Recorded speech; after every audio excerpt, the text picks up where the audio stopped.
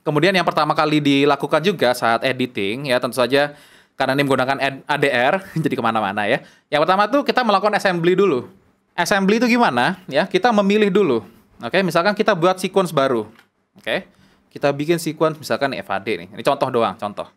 Ya, contoh doang. Kita pilih dulu shot-shot mana aja yang kita mau ambil. Oke, itu namanya assembly. Misalkan dari sini ke sini, taruh di sini. Oke. Kemudian kita pilih nih, oh, mungkin di awal nih medium shot, habis itu close up, habis itu close up. Tapi kan enggak, di sini kan enggak. Kenapa? Karena di sini case-nya dia bilang listen, listen, dengarkan. Oke, okay? jadi kita butuh uh, memberikan perhatian lebih gitu. Kita makanya menggunakan close up, ya. Kalau close up itu berarti semuka ya, semuka dari leher lah kurang lebih, ya ini close up. Kalau misalkan extreme close up, kita mengambil fitur tertentu dari aktornya atau aktrisnya. Misalkan e, matanya doang gitu kan, lagi nangis terus di close ex, apa di di ECU ya, di extreme close up di matanya ya kan, keluar air mata kayak gitu. Itu untuk menekankan e, sesuatu dalam video kita. Nah, makanya itu assembly itu penting ya. Karena assembly itu juga akan uh, menentukan bagaimana flow cerita kita, bagaimana pacingnya, bagaimana psikologi dari penonton itu saat menonton film itu, ya. Makanya assembly itu penting. Nah, makanya di sini dari two shot pas dia bilang listen ke close up seperti ini, ya. Kalau misalkan di bagian ini dia menggunakan medium close up yang mana chest shot, itu rasanya impactnya kurang. Makanya di sini gue memilih close up pas dia bilang listen. Dan ini dari direct, direkturnya sendiri, dari sutradaranya sendiri, memang memilih untuk menggunakan angle yang lebih rendah dari eye level. Oke, okay? eye level itu misalkan ini kamera ya. Oh iya. Oke, okay. ini kamera. Posisi lensa itu kalau sejajar dengan mata seperti ini, maka sebutannya eye level, ya. Tapi ketika kita menggunakan eye level itu tidak ada gimana ya? Kurang impactnya secara emosional. Kayak gitu. Kan ceritanya di sini ceweknya uh, apa ngasih tahu kalau dia si cowoknya ini selingkuh gitu kan. Listen, I know you cheated on me kayak gitu. Jadi si kameranya ini ditaruh di lebih bawah sedikit supaya dia kelihatan ngedongak gitu kan. Kelihatannya tuh dia lebih tinggi, oke? Okay? Uh, eh, itu istilahnya dalam perfilman itu terlihat lebih dominan, oke? Okay? Dominasi. Nah, kemudian si cowoknya ini karena karena dia yang salah di sini, maka si kameranya itu ditaruh agak lebih tinggi supaya dalam frame ya seperti gue bilang tadi karena frame itu cuma dua dimensional plane doang supaya dalam frame itu kelihatan lebih rendah oke okay? supaya lebih kecil kelihatannya supaya ada rasa bersalahnya kayak gitu kemudian di bagian awal ini sengaja gue pilih shot ini karena dia melihat ke kiri sedangkan kalau posisinya aktor di kiri seperti ini maka ketika dia melihat kiri maka di kanan ini ada yang namanya negative space oke okay?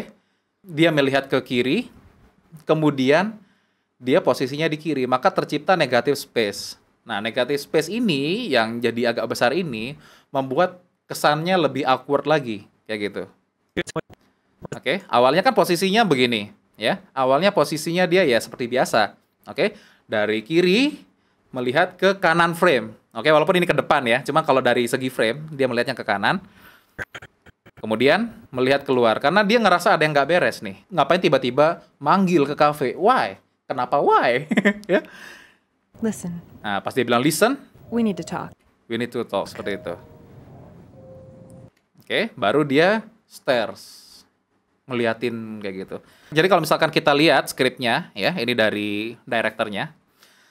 Jadi si si ini Carpas before the camera, the front door opens and close as patron enter sub parking lot. Nah, cuman ini serang aja gua agak ambil karena ketika memilih intro ya ketika memilih intro misalkan uh, dari pintu kebuka kemudian ketutup terus dia jalan itu biasanya film itu akan terasa uh, seperti amatir yang yang yang ini yang yang yang kerjaan itu seperti amatir gitu loh. Kayak gitu. Makanya di sini sangat banyak dikasih pilihan oke? Okay? dikasih banyak banget. Kalau mau pilih yang gimana? Intronya apakah dia buka pintu ya kan? Habis itu duduk klise juga itu, itu klise ya. Atau langsung aja mulai seperti tadi, judul, oke, okay? jadi lebih impactful gitu loh.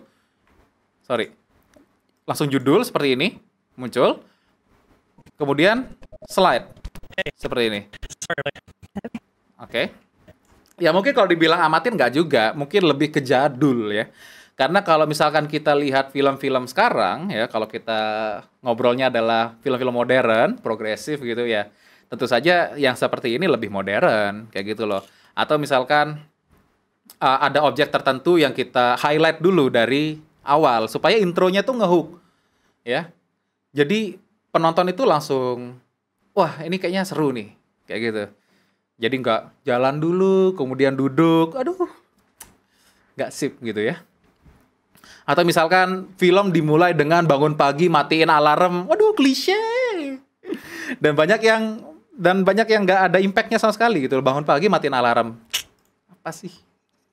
Nah, yang namanya editor itu perlu juga membaca skrip seperti saat editing. Jadi supaya tahu arahnya si sutradara tuh mau ke mana ya jadi kita punya arahan nggak nggak secara buta gitu yang namanya ngedit itu nggak secara buta gitu loh ya baru dia bilang so what's good here listen we need to talk oke okay? what is it nah baru ketika dia habis ngobrol ini I know you cheated on me baru waiter approach the table oke okay? Nah dari penjelasan direkturnya di videonya ini dari channelnya Science Study dia pengen membuat uh, suasananya itu awkward gitu loh. Jadi ketika dia ngobrol di reveal ya di reveal ternyata si cewek ini tahu kalau dia cheat gitu loh tahu dia selingkuh si cowoknya. Tahu-tahu dipotong sama waiters. Ya gitu. Oke? Okay? di sini pacingnya sengaja gua agak lambatin sedikit supaya lebih intens. Sedikit aja kalau kepanjangan juga buang waktu nggak bagus Uh, what is it? I know you cheated on me. Our spe- nah ini namanya jekat seperti tadi jadi ada suara dulu masuk our special specials tonight are a crab stuffed filet mignon with a whiskey peppercorn. Oke. Nah, habis itu kan dia diam nih. Habis itu dia diam. Nah, kan jadi suasananya awkward banget tuh. Ya kan? Lagi pengen ngobrol serius, tahu-tahu waitersnya datang. Nah, di awal ini karena suaranya masuk, kemudian yang memecah suasananya ini adalah si waiters ini. Jadi gua pilih shotnya tuh adalah medium close up seperti ini nih. Oke. Jadi supaya meng-highlight si waitersnya ini datang gitu loh. Kayaknya ini kok sebel sih. Dan POV-nya ini kan dia ngeliat ke ceweknya nih. Oke, ini adalah POV, point of view shot. Oke. Makanya diambil dari arah si ceweknya duduk. Oke. Kemudian dia ngeliat si cowoknya satu lagi karena menawarkan menawarkan ini, menawarkan hidangan ya. Abis itu kita pindah ke shot yang tadi gue bilang ya. Ke white shot seperti ini dengan si waiters ini ngebelah ya ngebagi antara si cowok dan cewek ini menjadi pemisah gitu loh dan di sini kalian bisa lihat sendiri si ekspresinya awkward banget gitu oke kemudian di sini gua ada insert nah ya, jadi insertnya di sini adalah ekspresi ceweknya kayak so gitu loh so ngapain lagi gitu kan Nah, sebenarnya ini banyak banget yang dikasih. Sebenarnya banyak banget yang dikasih shotnya untuk milih. Cuman menurut gue yang paling impactful seperti ini ya. Jadi si ceweknya ada efek so gitu baru tangannya bilang we're gonna need a minute. Jadi di sini gue bikin dua kali dia bilang we're gonna need a minute. Kalau misalkan kita lihat skripnya ini, we're going to need a few minutes. Baru waiter leave table. Dia cuman bilang satu kali doang di skrip.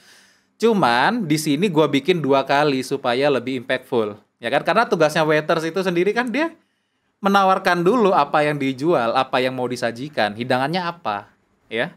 Jadi dia bilang we're gonna need a minute di sini. rack of lamb Please. and Dia masih ngejelasin. Masih masih gitu. Setelah dia ngeliat ke cowok ini, karena kan si cowoknya yang bilang we're gonna need a minute, dia ngeliat si cowoknya.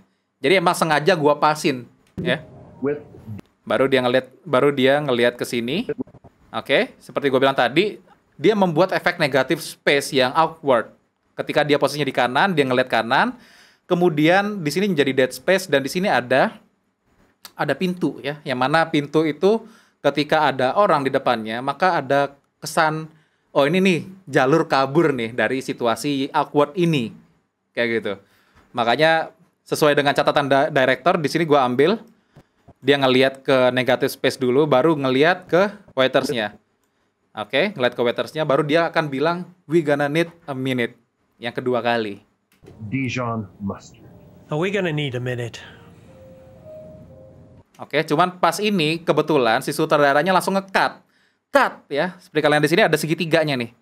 Nah, sebenarnya ini akan lebih baik lagi kalau misalkan dikasih jeda lagi, dipanjangin sekitar ya dua detik lagi lah.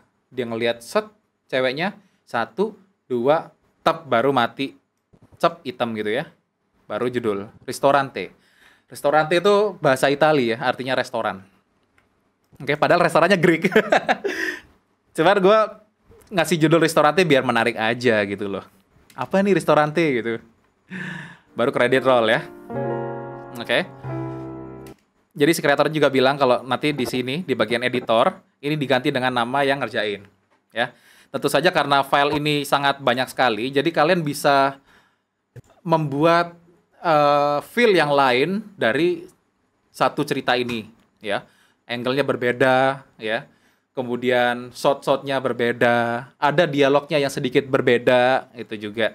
Nah itu tergantung dari kreativitas editor dan selera editor gimana cara mengolah footage tersebut. Oke, gua rasa sampai sini dulu pembahasannya ya antara audio, assembly, kemudian cutting dan lain sebagainya ya. Uh, kalau misalkan kalian ada pertanyaan, tentu saja kalian bisa komentar di bawah. Bang, nggak ngerti maksudnya ini. Bang, nggak ngerti maksudnya itu. Nanti gua akan coba jawab satu-satu. Dan mungkin juga nanti ke depannya gue akan uh, bikin video khusus membahas teknik-teknik editing ya, teknik cutting dan lain sebagainya. Oke? Okay? Oke, okay, sekian dulu pembahasan kali ini. Semoga bermanfaat. See you next time dan terus berkarya.